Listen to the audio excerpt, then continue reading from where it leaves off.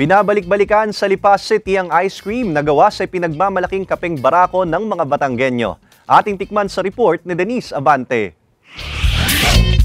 Kapag Batanggenyo, unang tatatak niyan sa'yo ang kapeng barako. Pero sa Lipas City, ang ipinagmamalaking kapeng barako, malalasap with a twist. Introducing kapeng barako ice cream. Ideya ito ng magkakaibigang Teddy, Neri, Joshua at Kobe. Noong mag-pandemic daw nang maisipan ng magkakaibigan na buhayin at gawan ng kakaiba at pangmasa ang family business ni na Teddy na matagal nang natigil.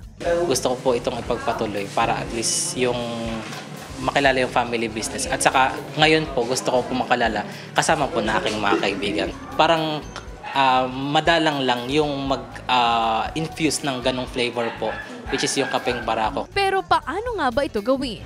Unang pakuluan sa tubig ang kapeng barako ng limang minuto. Palamigin muna ito habang inihahanda ang pre-made cassava mixture at milk mixture na siyang paghahaluin hanggang sa maging frothy o mabula ang texture ng ice cream base. Lagyan ng yelo ang balsa na paglalagyan ng grapinyela o ang lalagyan ng hahaluing ice cream mixture sa ice cream mixer.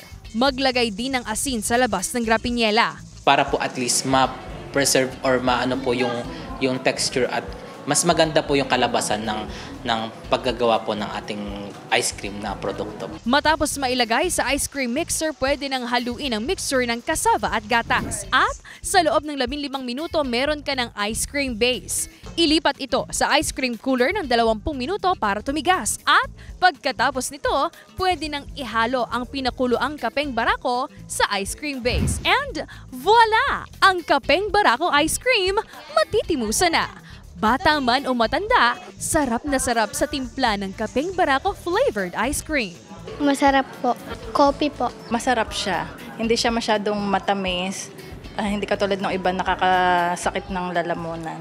Okay na okay. Parang alternative kung ayaw mo naman ng coffee na mainit. Oo, malamig naman na ano. Para kung saang weather ay mainit, o ma-alternative natin tong ice cream na coffee ice coffee flavor. Paborito daw ng anim na taong gulang na si Phil Andrew ang ice cream kaya naman hindi niya ito pinalampas at hindi lang isang order ang kanyang naubos. Masarap po. Dalawa po.